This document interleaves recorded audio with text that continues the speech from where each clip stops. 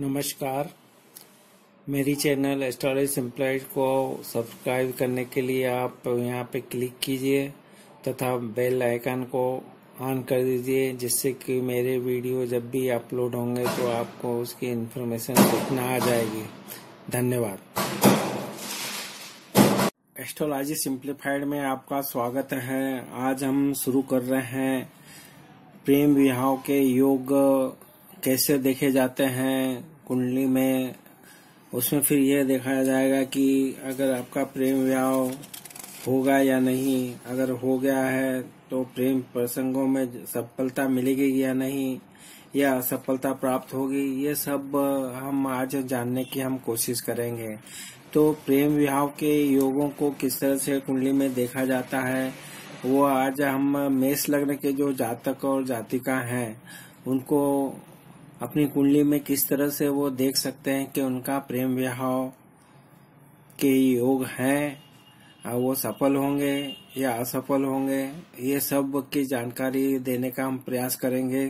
तो आप अपनी कुंडली, जो भी जातक जातिका हैं, वो अपनी कुंडली को देखें और समझने की कोशिश करें, प्रयास करें कि किस तरह प्रेम योगों को देखा जाता है। तो इसमें जो सूत्र बताए गए हैं, जो इसमें योगों के बारे में जो जानकारी दी गई है शास्त्रों में, उसके अनुसार हमें पहले तो लग्न को देखेंगे तो यहाँ पे लग्न आपका बलवान होना चाहिए। उसके बाद में प्रणय संबंध के लिए आपको पंचम भाव देखा जाता है, पंचम भाव के स्वामी को देखा जाता है, क्योंकि ये प्रणय संबंध का भाव है।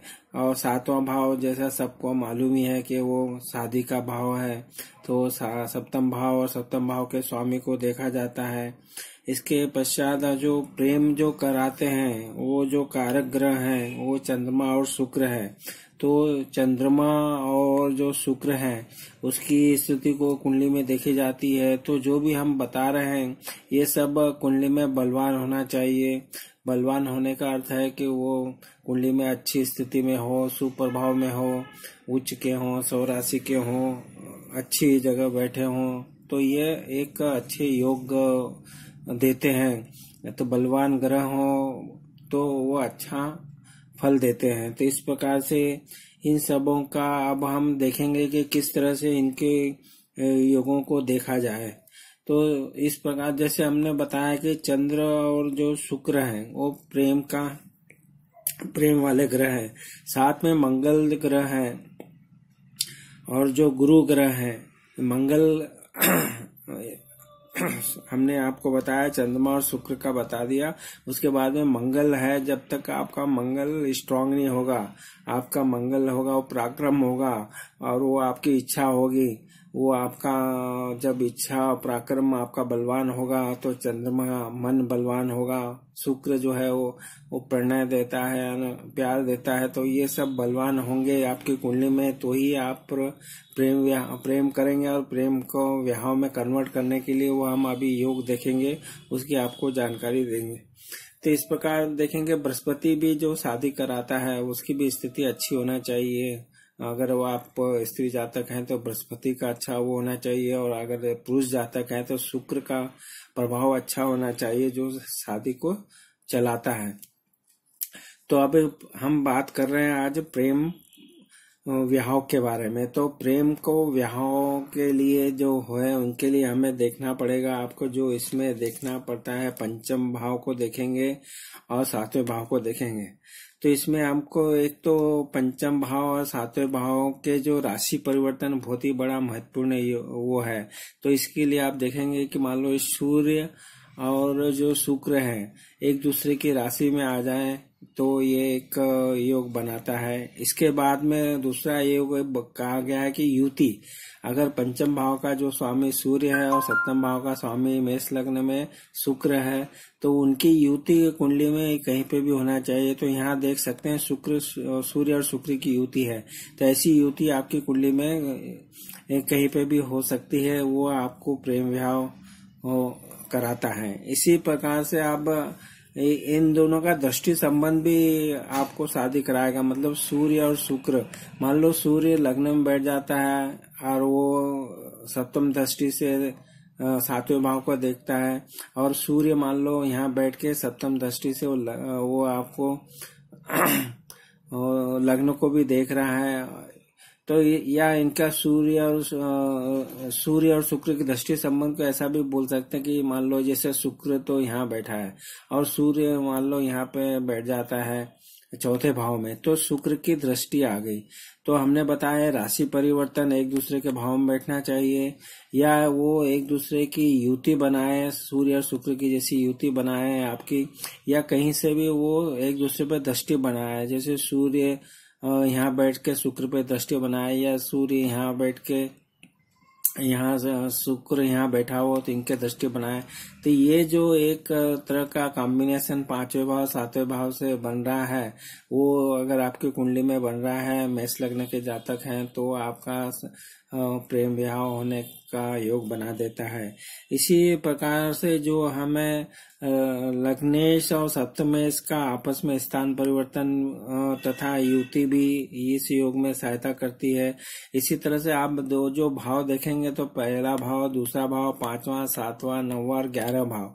ये भाव में भी अगर शुक्र कहीं पे भी बैठ जाता है और वो उनका संबंध इन भावों से बनता है या कहीं से भी तो भी ये एक आपका प्रेम विवाह का योग बनाता है। तो इस प्रकार से आप देख सकते हैं कि से द्वितीय का भी उसी तरह से जैसा संबंध बताया पंचम सप्तम का ऐसा ऐसा बन सकता है तो वो भी आपको इस तरह के योग बनाता है। तो यदि लगने से जो है, वो पंचम भाव में आ जाए, जैसे यह मंगल है ये मंगल यहाँ पे यहाँ पांचवे यहाँ पे आ जाता है पांचवे भाव में। और तथा पंचमेश और सप्तमेश की युति हो तो भी ये प्रेम योग बनाएगा, प्रेम विवाह योग बनाएगा। यदि लग्नेश और सप्तमेश की युति जो लग्नेश है, मंगल और सप्तमेश शुक्र है, इसकी युति सप्तम भाव में भी आ जाती है तो तो भी ये प्रेम विवाह का योग बना देता है। यदि लग्नेश और पंचमेश जो है, लग्नेश और पंचमेश जो है वो उनकी युति कहीं पे भी होगी वो, वो भी एक प्रेम याव का योग बनाता है।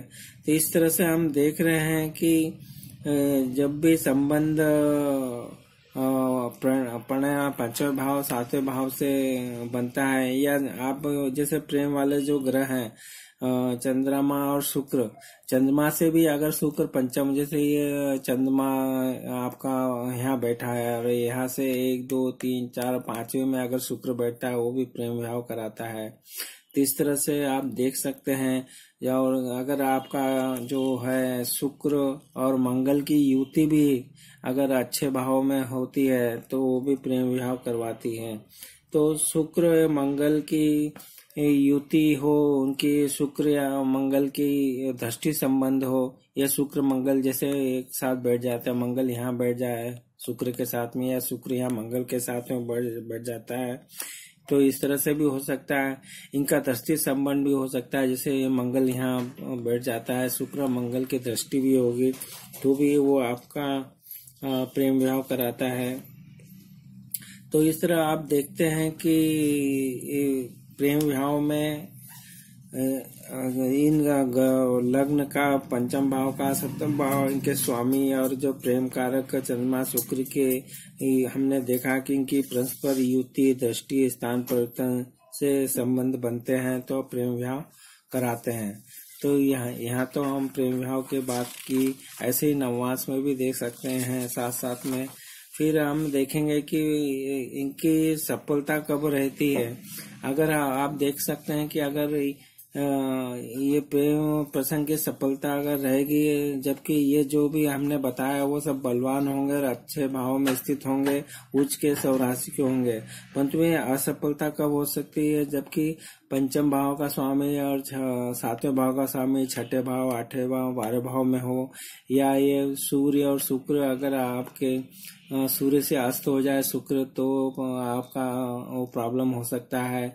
या ये नीच के हों हो, तथा उन पे क्रूर ग्रहों का प्रभाव हो। क्रूर ग्रह जो है, पंचम भाव पे या पंचम भाव के स्वामी, सप्तम भाव सप्तम भाव के स्वामी और शुक्र पे क्रूर ग्रह जो है, शनि, मंगल, राहु, केतु अगर इनके प्रभाव होंगे तो भी ये प्रेम पर जो प्रसंग है और शादी है, उसमें आपको प्रॉब्लम आ सकती है।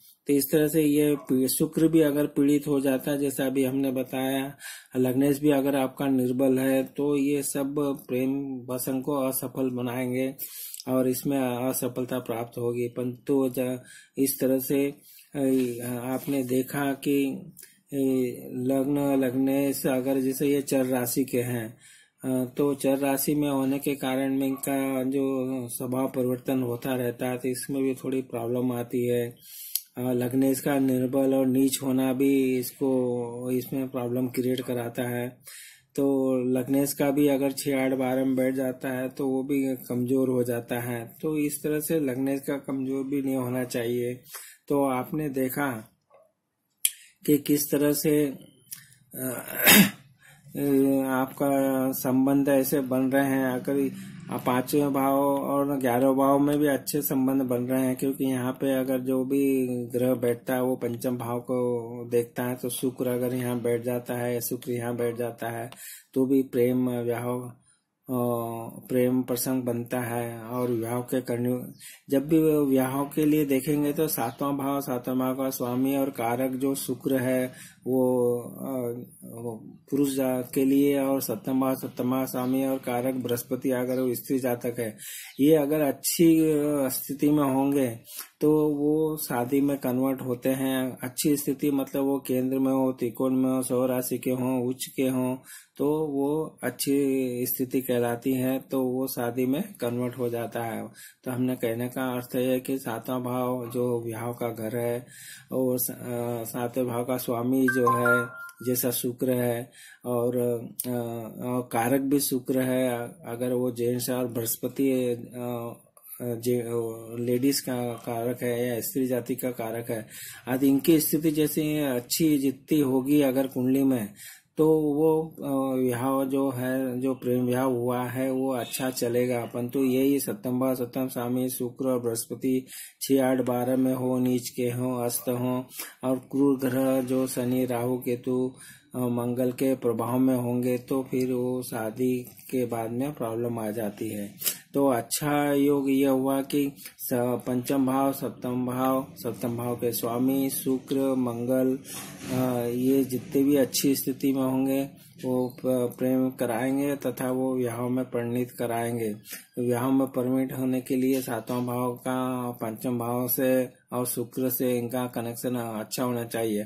अगर पंचम, सप्तम का संबंध भी नहीं हो, परंतु शुक्र की स्थिति अगर कुंडली में पंचम भाव में हो, सप्तम भाव में, नवम भाव में ग्यारह भाव में हो तो भी वो शादी जो प्रेम विवाह करा देते क्योंकि शुक्र शादी का कारक है, बृहस्पति भी शादी का कारक है।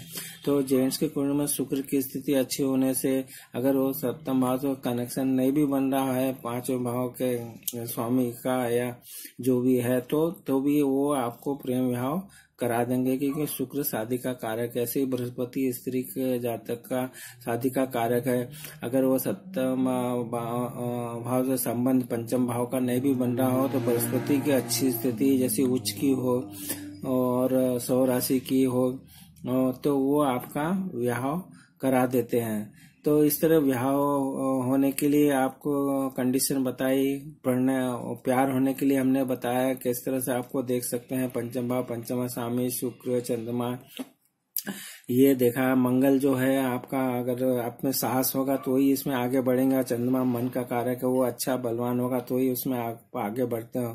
तो चंद्र मंगल का बलवान होना तथा शुक्र और मंगल की कुंडली में कहीं पे भी युति होती है तो भी वो प्रेम विवाह करा देती है। तो इस तरह आपने देखा कि किस तरह से प्रेम विवाह होता है विवाह में परिणति के लिए सप्तम भाव का होना ज़रूरी है, या शुक्र बृहस्पति की स्थिति अच्छी होनी चाहिए, जो शादी करा देते हैं। शादी होने के बाद में उसको चलाने के लिए वो अगर वो शादी असफल हो सकती है अगर ये जो पंचम भाव सप्तम भाव शुक्र और बृहस्पति छह आठ बारह में हो और नीच के हों अस्त हों वक्री हों तथा उन पे शुभ प्रभाव नहीं हो और, और पापी ग्रह राहु केतु शनि का आदि का प्रभाव होगा तो वो शादी फिर चलती नहीं है। तो इस तरह आपको समुचित जानकारी देने का प्रयास किया है। आपको अगर मेरा वीडियो पसंद आया हो तो आप अपनी कुंडली में आप, आपको मेरा वीडियो पसंद आया तो मेरी चैनल एस्ट्राई सिंप्लीफाइड को सब्सक्राइब कीजिए इसको लाइक कीजिए शेयर कीजिए, और आप टेलीफोन से परामर्श प्राप्त करना चाहते हो तो मामूली दक्षिणा देख के आप टेलीफोन से परामर्श भी प्राप्त कर सकते हैं। और इस तरह से मेरी चैनल को सब्सक्राइब करने के लिए इसकी लिंक हमने दी है हमारे वीडियो में नीचे आप देखेंगे तो लिंक दी है, उसको लिंक को आप एक्टिवेट कर सकते हैं। और साथ साथ में मेरे बहुत से वीडियो बनाए हैं इस एस्ट्रोलॉजी सिंप्लीफाइड में। तो आप उन सबको देखिए तो आपको और भी जो सरलता होगी सब चीज़ों को समझने के लिए। तो इस तरह से आपने मेरा वीडियो देखा। इसके लिए आपका बहुत बहुत धन्यवाद।